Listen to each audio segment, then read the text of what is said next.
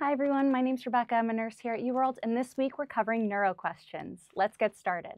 So the nurse has attended a staff education program about seizure precautions, which the following statements by the nurse would indicate a correct understanding of the program. Select all that apply. Pause the video and drop your answer in the chat.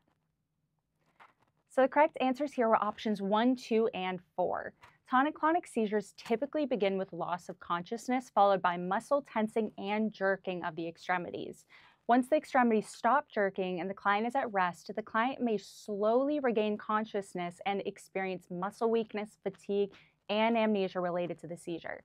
To promote client safety, the nurse should implement seizure precautions, which include one, ensuring their suction equipment to clear secretions and maintain airway patency after the seizure subsides, Option two, documenting the duration of the seizure and observed behaviors because seizures lasting greater than five minutes may indicate status epilepticus, which is a medical emergency. And then option four, activating the call light to request help. Our incorrect options are option three. So the client should be placed in a side lying position with the head of the bed flat, not elevated to reduce the risk of the tongue including the airway.